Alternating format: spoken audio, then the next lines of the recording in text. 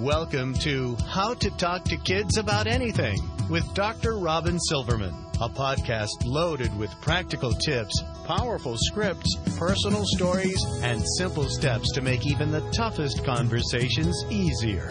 So get ready to get the information you need to make the impact you want from someone you trust, your friend, parenting expert, Dr. Robyn Silverman. Hello and welcome to How to Talk to Kids About Anything, where we give you the tips, scripts, stories, and steps to make even the toughest conversations easier. I'm so honored to be your host, Dr. Robyn Silverman, child and teen development specialist, author, and speaker, and most importantly, parent of two great kids who give me the opportunity to love, learn, and grow every single day, whether I want to or not. Believe me, I get it. It's not always easy. But we're in this together, and we have some wonderful people helping us along the way. Now, there's no question there has been a marked increase in children diagnosed with autism spectrum disorder, ADHD, dyslexia, Tourette syndrome, and other neurological disorders. We have also heard of increases in food sensitivities, social problems, screen uses, medication use, and a decrease in getting out into nature, going out for recess, uh, unstructured play, an increase in stress. Are any of these things connected? Are we just making this all up? And if so, uh, what are we going to do about all of this? And if not, what are we going to do about all of this? To answer these questions and more, we are turning to Dr. Robert Melillo. Now, Dr. Robert Melillo is a world renowned chiropractic neurologist, professor, and researcher in child neurological disorders, and creator of the Brain Balance Program. Since 1994, his program has helped thousands of children with autism spectrum disorder, ADHD, dyslexia, Tourette syndrome, and other disorders. His Brain Balance Achievement Centers are located throughout the United States. He's the author of Disconnected Kids, disconnected kids, reconnected families, reconnected kids, and more. You can learn all about Dr. Melillo and his work at drrobertmelillo.com. I want to thank you so much for being here, Dr. Melillo, to How to Talk to Kids About Anything.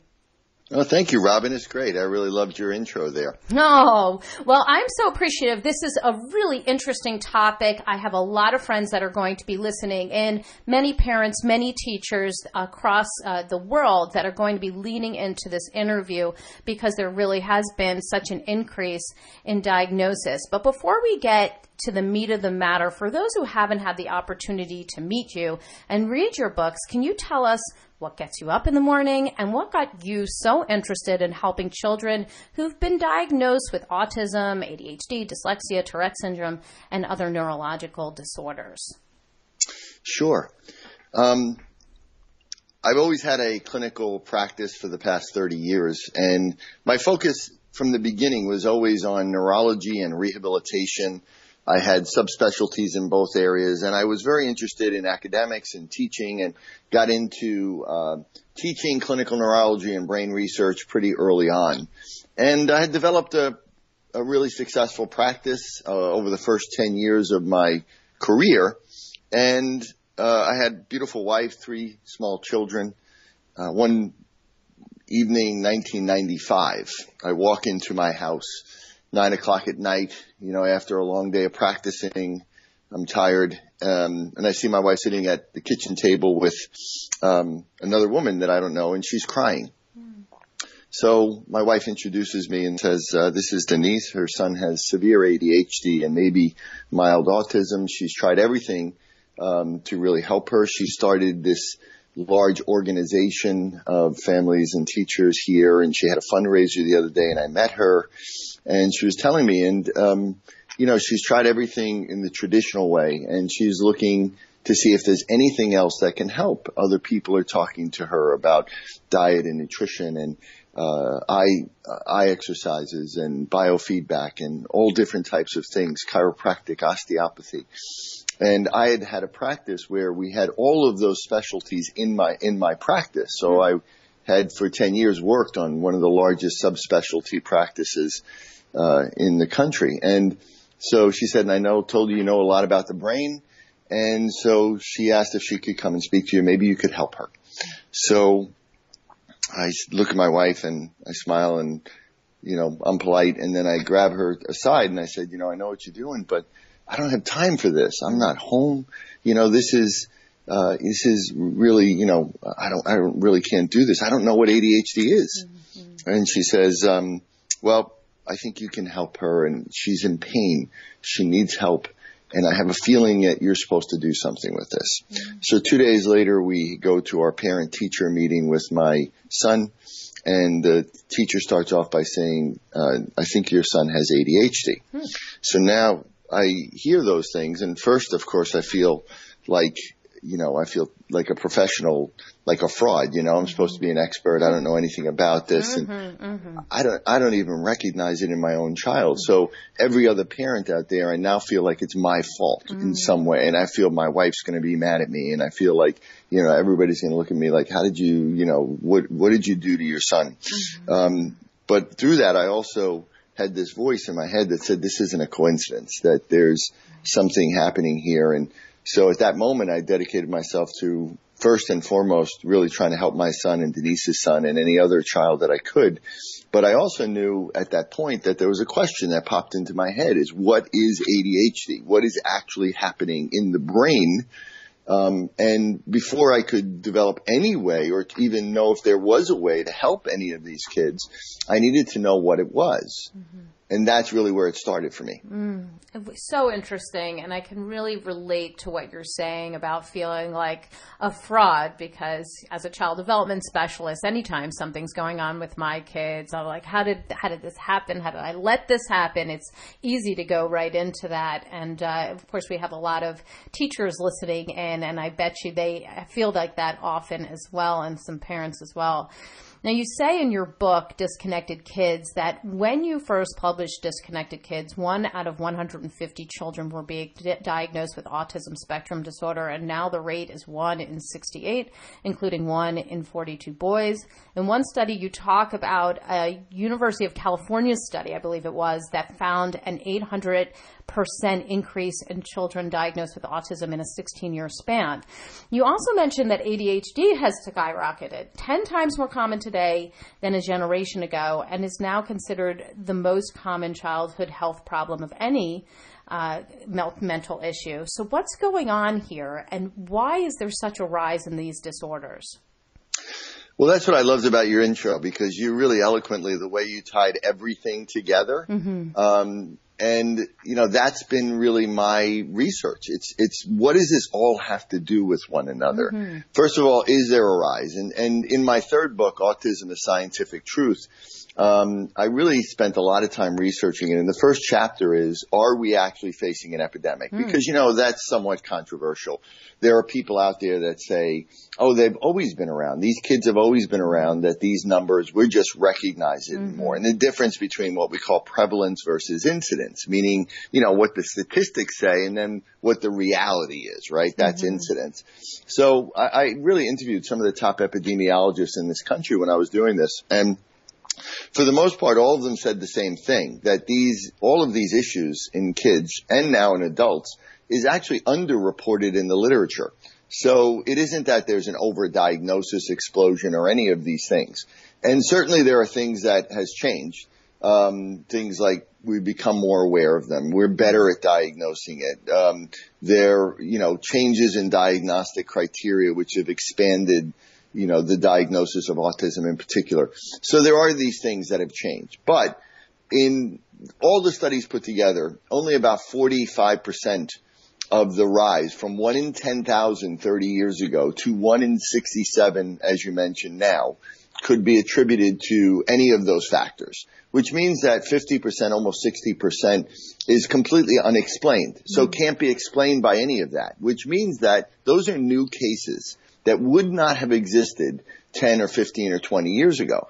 That qualifies this as an epidemic, as a huge epidemic. I mean, to give you some context, the rise in uh, polio, when one in 2,800 kids, it was uh, declared an epidemic. Mm-hmm. Um, we're talking at, you know, with autism at one in, you know, 50 generally. But if you look at all of these issues together and you look at ADHD, ADHD affects one in nine kids mm. in the United States. And um, it, you know, these altogether, one in five kids in the United States have some mental diagnosis, and that doesn't include educational problems, things like dyslexia, processing, learning issues. Um, so just one in five. And what we see is one in five adults have that because when kids grow up with these issues, these developmental issues, they don't grow out of them on their own. They don't just go away. They end up being adults with these issues. So now we see that the fastest growing problem in adults is ADHD. Mm-hmm. Mm-hmm. Mm. So, I mean, it's just unbelievable what's going on. And, you know, understanding that this is something that you don't grow out of. And now we've got all these adults who are dealing with this issue right now, maybe haven't gotten the skills or the treatment that is needed, whatever you think is, is appropriate. So I know that a lot of your work focuses on functional disconnection and the fact mm-hmm. that disconnected kids are different because they feel different. And just would love for you to explain what functional disconnection is and what these kids have in common. What do you really mean by the fact that they feel different and that's why they are different? Yeah. Well, this is, you know, again goes back to the core root issue, which I think is, is the basis of all of my work over the past 20, 25 years, which is what is actually happening in the brain, not just in ADHD, because what you realize is when you, when I started looking at ADHD, there was this thing called comorbidity, which means that all of these kids have multiple diagnoses at the same time. You know, you never see a kid with ADHD that doesn't have some form of OCD or Tourette's or a kid with autism that has ADHD or dyslexia has a learning disability, has, you know, attention problems. So, you know, real quickly I realized that these weren't separate issues. Mm. They were actually the same problem manifesting differently because they're affecting different areas and different networks in the brain. And in particular, they affect more right side or left hemisphere issues. So, you know, it came down to what is actually happening. And even now, like I just got back from Bulgaria, as I told you last night, I lectured two days ago to 100, 150 of some of the top physicians and therapists in the country. First question I always ask anybody is, you know, who can tell me what it is? And the answer is always the same. Nobody can. Um, so even now, most people don't know the answer to this. But this has been my core research. Um, I head up a research lab. We've published hundreds of papers on this. And the bottom line is everybody for the last kind of 15 years or so, maybe since the late 90s, has known that these problems are about what's called functional connectivity in the brain meaning that there isn't any damage or injury. It's not a chemical problem. It's not mm-hmm. inflammation. It's not pathology. It's not genetic mutations because in the vast majority of all of these issues, even most mental health issues, they have no actual genetic mutation in the vast majority of, of the people that have these issues.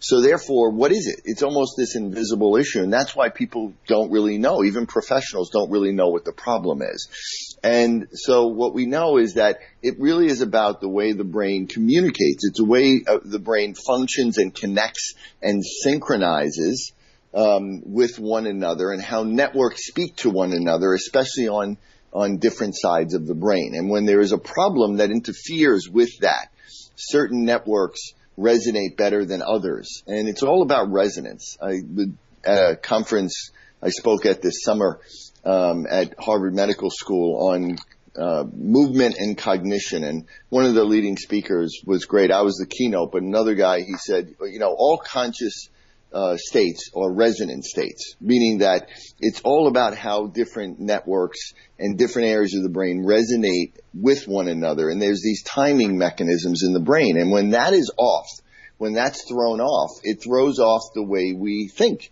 It throws off the way we organize our thoughts and put together memories and therefore affects how we're able to learn, whether it's socially, behaviorally, or whether it's academically. All of them are learning they're just different networks in different areas of the brain. And this is what the concept of functional disconnection is all about.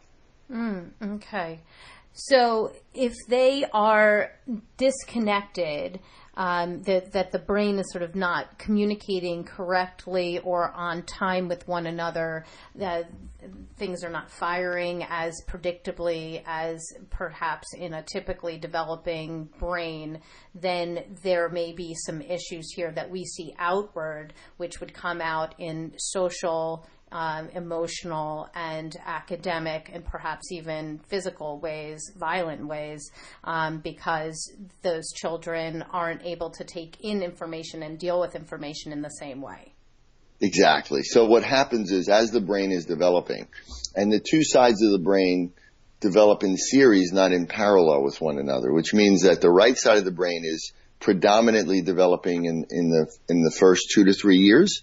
And then we switch to left brain development. And by that, I mean both sides of the brain are growing. Both sides of the brain are growing, but the right side or the left side is just about 20, 30% more active during a, a phase of growth. So it means that anything that's coming in and the brain is built from the outside in and from the bottom up and then it build and then the brain grows and then it comes from the top down and regulates everything. Mm-hmm. Everything in our body our immune system our digestive system autonomic system heart rate everything hormones is regulated by the brain. And for it to function appropriately the brain has to be regulating it appropriately. So if the if, what's happening is if something interferes with that development from the bottom up like building a building from the bottom from the foundation to the top if something slows it down, what happens is one side of the brain, so let's say if it happens in the womb or early in the first couple of years, the right brain may slow down in its development. It's not as active as it should be. Mm. And then the left brain may kick in too early. So what we see is we see certain areas of the brain become hyperactive mm-hmm. on one side where other areas of the brain are underdeveloped or immature. Mm-hmm. And we see this unevenness of skills that's characteristic of all of these issues. So even if we look at the name ADHD, right, what we're describing is an attention problem, which is a right brain function. So the right brain attention network, what's called the dorsal attention network is underdeveloped. And then what we see is hyperactivity, impulsivity, increased motor activity, obsessive compulsive behavior is a left brain function. And we see hyperactivity or overactivity that produces hyperactivity or impulsivity, and that's the that's the H part, right? So the HD is too much activity in the left brain, along with underactivity in the right, and t- we combine those things together, and that produces this issue we call ADHD. And that's true with every single issue out there. We have some symptoms that are because we have too much typically on one side of the brain, and then we have other symptoms that are because we have underdevelopment on the other side of the brain. So there's this developmental imbalance or what's called a developmental asynchrony where one side of the brain or certain networks are growing and maturing at a different rate. And that's ultimately what produces all of these issues. Mm, I mean, it's so interesting the way that you're explaining it. It makes so much sense.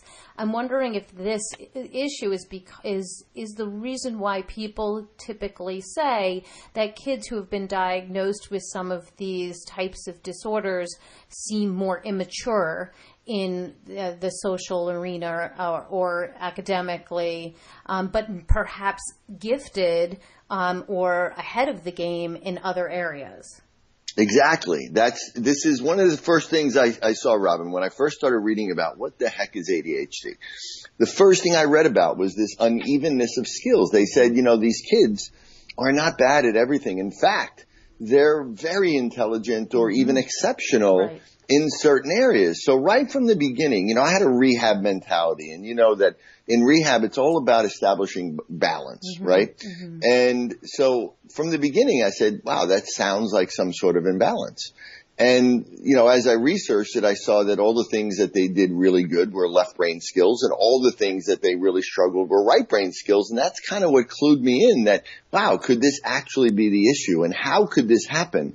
And then when I learned that the right and left brain develop at different stages and I realized this was all just a developmental issue. And recently out of the University of Michigan Medical School, there was a study in 2016 where they found a way to map the growth and maturity of networks in the brain. And what they did is they looked at typical kids and ADHD kids and they found that, you know, in over 500 kids, they mapped the, their brain and they found that kids with ADHD have underdeveloped or immature networks in their brain. And that's what we see. But it's not only underdeveloped, it's actually there because of the, because one side slows down, what happens is the other side tends to speed up. Mm-hmm. So we end up getting this this over maturity where we have, you know, kids and we see it all the time. And we, at Brain Balance, we've worked with almost 40,000 kids in the hmm. United States and we've tested them all with the most, you know, stringent objective measurements in everything, including academic achievement. And we see kids that come in and it's remarkable. Some of these kids are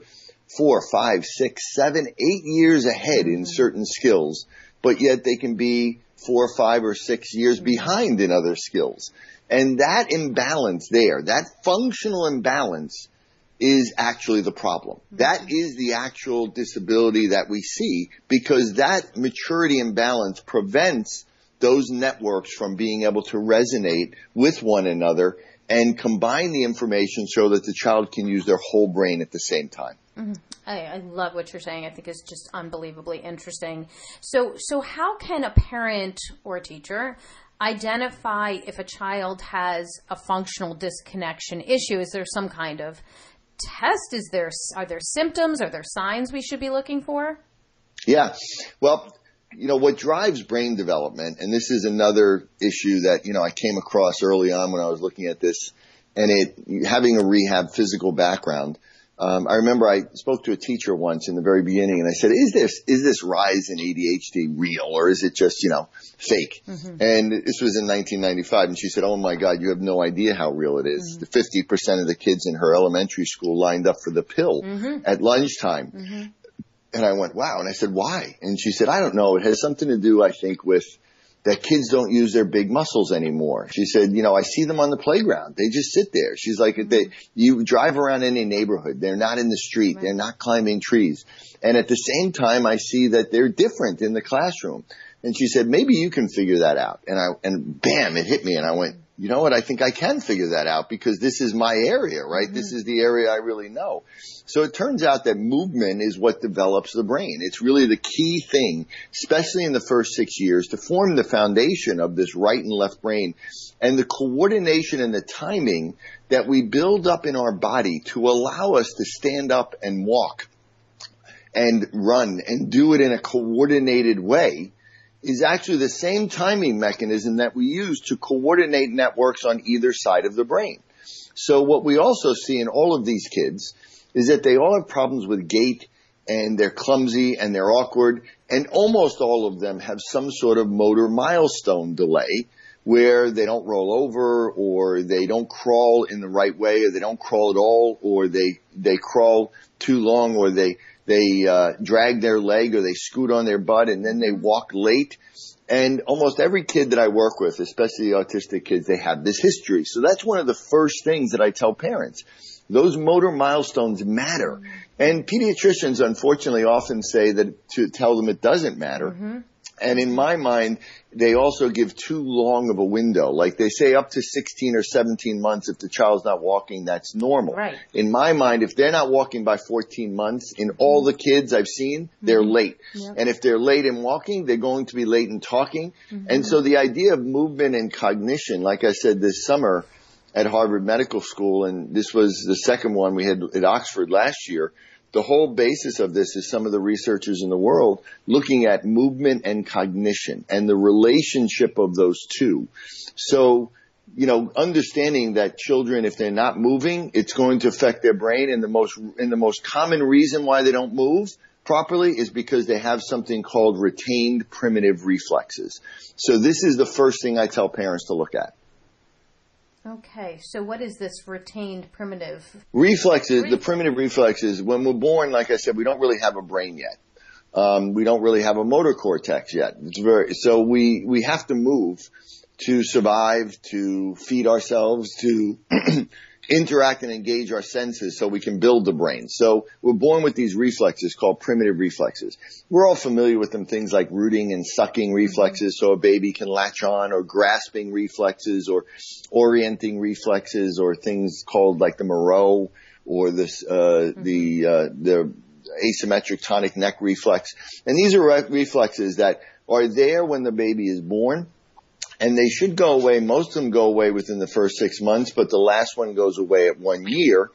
And they go away and then they allow for the brain stem to mature and they allow for more complex, what we call postural reflexes that allow us to stand up and walk and that all builds the brain. And then literally out of the motor cortex in the brain grows the prefrontal cortex where all of our cognitive abilities are. And then the brain comes down and regulates everything. So what we see is that kids, if they don't get rid of these primitive reflexes when they're supposed to, they act as a form of arrested development on areas of the brain and delay and slow down growth and they will stay with them forever. I mean, they never go mm-hmm. away. And when we get rid of these primitive reflexes, it basically unlocks the the the brain so that it can actually catch up to where it's supposed to be. Mm-hmm. And uh, and so this is one of the first stages that we do. Hmm. Okay. So I, would love to get into a little bit more about how we can develop this balance that we need. I know in your book you talk about many environmental factors that can put a child at greater risk for functional disconnection, from brain imbalances of the birth parents to parental diet to vitamin D deficiencies, uh, stress, weight, history of psychiatric illness, fetal exposure to medications. So, I mean, if parents feel that their children do indeed have this disconnected disconnection issue, what can they do specifically to help their child? I mean, can the brain change in these sort of positive ways? And if so, what are some tips that, that you can give us now? Yes, absolutely. That's the good news is that because there is no genetic mutation, as many people um, uh, assume, and they're not, and there's no actual damage. Hmm. there's in most cases there's nothing preventing us from correcting these mm, issues mm-hmm. on a long-term basis. And again, working with tens of thousands of kids, you know, we have a very high success rate in our centers. And now, you know, I really focus a lot of my time working on severe uh, children with autism, and and you know I'm getting the majority of them to start to speak wow. in a relatively short period of time. So um, the idea is that yes, because what we need to do is we focus on the underdeveloped areas of the brain, on the underdeveloped and networks, and we do a combination of ser- of exercises and stimulation. Since environmental factors are what cause these, modifying or manipulating our environment is what changes them back. And that means also diet and nutrition, physical activity level. Um, but we do targeted stimulation. So as we said, first of all, we get rid of these primitive reflexes if they're there. Um, that releases a lot of the, the things that are holding it back. And then we, you know, encourage physical activities, core. This, this allows the child to start building these normal networks where they feel their body and they get connected to their body and their environment. They engage their senses and they start to then build up the, the stimulation and we, and we then also use things like light and sound and music and vestibular inner ear stimulation or touch um, and uh, rhythmic movement and things of this nature to target it towards one side of the brain, the underdeveloped side of the brain. And in doing that in measurable ways, we can measure and we actually see the maturity of those networks increase as we measure them objectively, meaning that we measure them. And so let's say a child is doing something either physically or cognitively at a five year old level, but yet they're 10 years of age. We do activities and stimulate them to grow it to a six year old and then a seven year old and an eight year old. And we measure them until they get up to where they're doing it at a 10 year old level or even beyond. So now that the brain is now balanced and now this promotes integration and communication and connectivity and this effectively corrects the problem. Mm-hmm. And all of this is described in my book, Disconnected Kids. Mm-hmm. Yeah, really, really interesting book, and I, I, believe you're right that it's very much it's very helpful to gain this knowledge and understand some of these different ways of getting at the balance that we need. Now, if a child, and I want to challenge you here a little bit so that um, we can hear your wording if a child needs a lot of dietary changes, environmental changes, they're used to a certain diet. They're used to, you know, a lot of video games and not getting outside or not playing sports. How can we speak to them about these changes? Like, so if you can imagine the child is sitting in front of you right now, what could a parent say to get them on board with these with these changes that may be very all encompassing for them? Yeah, and this is one of my biggest challenges right now, Robyn. I'm sure you find it as well. Is that you know, ideally, ideally, it's I would like for parents you know, not to expose their kids to the video games and to the iPhone when they're two years of age. And, and it's an automatic thing now. Parents, as soon as there's like dead air, mm-hmm. if it's, you know, bored, boredom or they're doing something, the immediate thing they do is they stick the phone in the child's hand. Um, and it's, it's literally like using a drug mm-hmm. to sedate them. And uh, it's so ubiquitous that nobody thinks twice about it and nobody's out there really saying, well, you shouldn't do that. So what happens is that very quickly our society has changed. Um, and the use of technology and computers and video games, especially in the first six years when the two hemispheres are just forming, literally can can create an imbalance in the brain because most of the digital technology stimulates the left brain mm. much more, and it can bring it online too early mm. or make it too strong. Um, and this can, you know, lead to overdevelopment of those areas and underdeveloped so that we see so much in the area of right brain deficient problems like ADHD and, and autism and OCD and Tourette's and even schizophrenia, psychosis, drug addiction. Those are all right brain delays that mm. we see in our society. And so the first thing I really do, and if I'm speaking to the child, it's hard because if they've already become, it's like talking to a drug addict, right? Mm-hmm. I tell hmm. parents like this. It's like, yeah, if I'm talking to someone who's a drug addict, they're not going to listen to me, right? Mm-hmm. It's very hard for them. I mean, they may understand that they're struggling or in pain, but especially when a child, this is all they've known since they were two years old or three years old. They don't even remember not doing it. Mm-hmm. So they've only, they only know a certain way. Um, you know, my wife and I have a web series TV show that we do called Disconnected Kids, Reconnected Families, where we go into the homes and actually work with families with severe issues as they're going through one of our brain balance centers.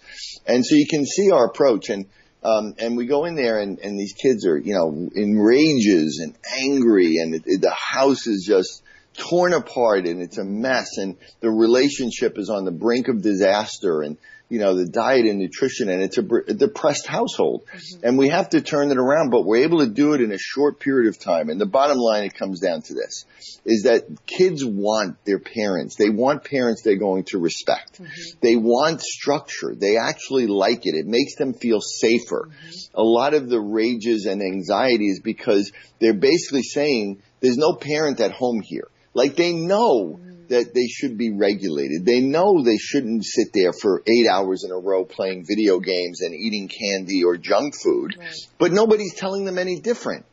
So what I found is that when you do start to establish structure, and especially one simple thing, is that when the child does something, you know, it's setting up rules, writing rules, literally sitting there with the child mm-hmm. and saying, let's set up rules. I'm sure you talk about this all the time. Oh, and then, and then there has to be consequences. Mm-hmm. And if there are no consequences, and usually if you ask the child what the consequence shall be, they'll actually tell you that, right?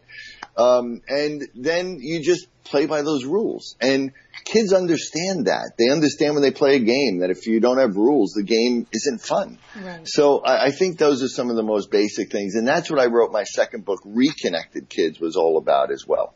Right, absolutely. And yeah, absolutely. I do talk about this a lot. And in fact, I have printables so that the parents can work with their kids on exactly what you're talking about, that they need to talk about their, their top rules, or they can call them agreements, or, um, you know, however they want to structure that. But also talking about the reason for those rules and what their rights are when they follow them, and also what the consequences are, not just in terms of what happens to them, but just what happens to the whole family when things right. are not followed. Like what what happens here? The stress level goes up. You know, people are angry. What happens when that? You know, when we're not following these rules or expectations or agreements. So I am right there with you because it, when the kids have structure, they, they feel so much better and they know how to be successful. So I agree with that. Can you give us, as parents or educators, um, just give us an example of something we can do at home, like a specific cognitive or social exercise that we might be able to do with our kids, maybe in like the elementary school range, so maybe not quite as young. Aside from getting them out and getting them to move their muscles, but what, what is a specific thing we might be able to do with them today uh, after hearing this this interview? Yeah, you know, just obviously increasing physical activity in general and, and diet is important, but in most kids that have more, let's say, right brain delays, and even kids with left brain delays, what we know is really engaging the big muscles mm-hmm. and causing what we call heart rate variability. Mm-hmm. Um, it actually changes their brain more rapidly than anything else. Building and increasing muscle tone, um, and increasing our aerobic capacity and how we, our heart rate. You know, the idea of our digestive issues and leaky gut and food sensitivities and all of these that you mentioned in your intro is all related to one another because when the brain is out of balance, all of those systems can get out of balance and an overactive immune system leads to food sensitivities. You can't have food sensitivities if you don't have proper production of digestive enzymes and if you can't break down the food to begin with. Mm. So why does that happen? And it happens because the fight or flight system is very high and the parasympathetic or rest and digest system isn't developing because the brain isn't developing. So we see that something called heart rate variability, getting the heart to go up and down and up and down. Just, mm-hmm. you know, when you look at how kids typically play, right? When you were growing up, you play tag or something. Yeah, you run around, you run around with your friends and then you die, right? And right. then you, you're on the, and then you're breathing heavy, and then you get up and you do it again, and it's fun. Yes. And you never see anybody do that. Like mm-hmm. nobody varies their heart rate. Parents, everybody. So believe it or not, with the parents, like going out and playing something like tag with your kids, mm-hmm. running around, um, you know, running after them, and going out and and riding bikes and going outside and do something that really is going to get your heart rate moving and doing things that are going to strengthen your muscles. I mean, simple thing like having a pull-up bar in the house mm. and having your kids at young ages, uh, you know, hang from the bar or do pull-ups or uh, do things like that. Believe it or not, that idea of brachiation. These types of activities are really important, and it's important to incorporate this early on with your kids. You sit, do push-ups, do sit-ups, um, you know, do those things, and then vary your heart rate up and down those things alone, first of all, get you away from a computer and a video game. Mm-hmm. And it's fun for the kids because they like that. It gets them to socially engage others, which they're not doing at this point. And it gets them to build that heart rate variability, which is going to help balance out that fight or flight system and calm it down so that their digestive system will work and their immune system will work better. Oh, so helpful. I really love that. And it's something that we can all do. And I, am sure that you've looked into uh, the school systems and hoping that they'll incorporate more physical activity. I know that that's been an issue nationally uh, where you know we're taking more recess away, we're we're not engaging them in as much gym, uh, physical education, and and we need to incorporate it across the board, not just within families, but hopefully also in the schools. Because the more that we provide recess and an, a physical outlet for kids, the better they're able to think and perform in school, and also just just learn and be happy in general. Yeah, I just filmed. I was just out in LA and I filmed a documentary movie that I think is supposed to be scheduled to be out next year um, with a with a young director named Aaron Wolf. And Aaron grew up with disabilities and dyslexia, and so he's very passionate about it. And the movie is going to be called "I Am Not Disabled," mm. uh, and he plans on literally having it in movie theaters. And the idea behind this is everything that you're saying. What we have to do with our educational systems to, uh, you know, protect kids from being bullied and to also understand that these things that I'm talking about, like my research on the brain and exercise and all of this stuff, and, and we have to incorporate more brain science, brain research and understand how the brain works and develops and incorporate that into our educational systems, which sounds almost crazy, right? That, you know, we, we all kind of know instinctively that learning is about the brain. But most of what we do in the educational system doesn't consider anything about the brain. Mm-hmm. So there's a movement I call that we're, we're trying to push called neuroeducation, mm-hmm. which means everything we do should be focused on what's going to be best for the brain and the developing brain at different stages because mm-hmm. the brain is different at different stages and learns differently at different mm-hmm. stages. But it's also not about just trying to compensate for these issues anymore because we can't handle that. You know, our schools are overwhelmed, special ed programs are overwhelmed. We really have to recognize that we have to address the core issue and try to actually correct these problems so that we, that's the only good long-term management strategy actually. Mm-hmm. All right, give us your top tip out of everything we've talked about, or perhaps we haven't yet today. Uh, what would you say would be your top tip to help kids who have some of these neurological issues that we've discussed? You know, I got to say, if there's one thing, if there's one thing, and I've said it, so it's a little redundant, but if there's one thing that parents can do uh, to prevent these issues and to really help uh, change them and improve them is movement. I mean, there is no the, the, the understanding of that. First of all, it's all about the brain, and understand that you know everything and mental health, physical health, emotional health, education. It's all about the brain. And movement is the main thing that drives brain activity and development, and it keeps it that way through the course of our life. You know, the two areas that I'm really focusing on uh, because Brain Balance has done a great job. We have a hundred some odd centers around the country, and it's focused on really helping kids, but more, you know, kids that are in the higher functioning range. Mm-hmm. Um, I've been focusing really around the world on the really low functioning kids, the kids with severe nonverbal autism, mm-hmm. um, and a lot of the questions I get, and which is really more of a problem now, is what about adults? Like, what mm-hmm. happens to these kids when they grow up if they're mm-hmm. not and the fact is, and the kid with ADHD becomes an adult with ADHD. So my focus right now individually for me is really looking at adults and looking at kids and developing a program called the Melillo Method to really address those issues because you know it it really but all of it really starts with movement because even in adults a lot of our health and mental health issues is because we're sitting in front of our computers we're not moving mm-hmm. We're we're eating really bad foods mm-hmm. and and you know so if there's one tip it's move it's the one one thing move increase your strength somehow some way especially your big muscles mm-hmm. and you know that will have a big impact Absolutely. Absolutely. Well, give us the resource of the week. Where can everybody go to get more information about you, your programs, your books, and everything you have to offer?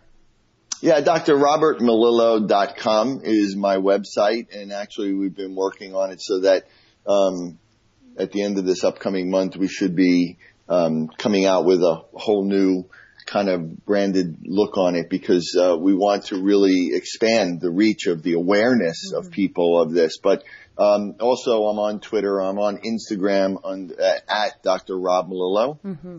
So Instagram, um, my webpage, um, and then we have this web series on YouTube for my wife, which is Disconnected Kids, Reconnected Families, that they can actually see us mm-hmm. and see what happens in a brain balance center um, and see us, you know, really work with these families and see the changes that are possible. It's really quite remarkable.